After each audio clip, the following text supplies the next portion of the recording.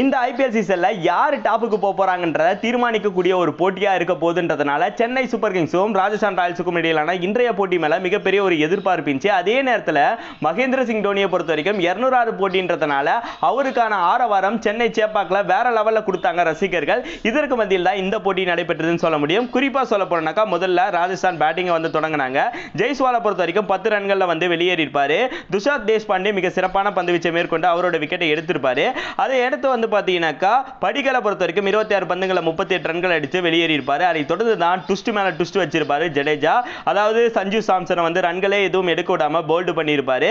அதை தொடர்ந்து அஸ்வினை பொறுத்த வரைக்கும் ரீசெண்ட் டைமில் வந்து பார்த்தீங்கன்னா நடைபெற்ற எல்லா போட்டிகளும் சென்னைக்கு எதிராகவும் சென்னை சேப்பாக்கில் வந்து பார்த்தீங்கன்னா மிக சிறப்பாக ஆடக்கூடிய வீரர் என்றதுனால அவருடைய பங்குக்கு இருபத்தி ரெண்டு பந்துகளை முப்பது ரன்கள் அடிச்சிருப்பாரு.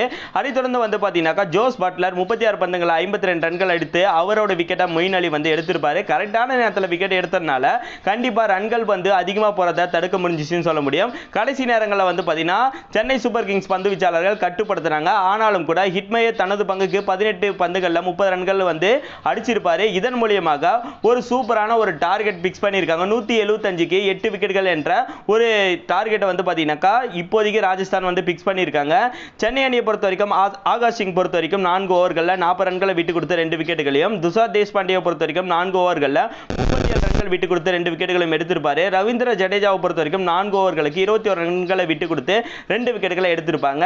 இந்த போட்டியில சென்னை அணி இந்த டார்கெட்டை சேஸ் பண்ண போறாங்களான்ற மிகப்பெரிய ஒரு எதிர்பார்ப்புக்கு உங்களை பொறுத்த வரைக்கும் சென்னை அணியால இந்த டார்கெட்டை சேஸ் பண்ண முடியுமா? அது கீழே இருக்க கமெண்ட் செக்ஸில் கமெண்ட் பண்ணுங்க.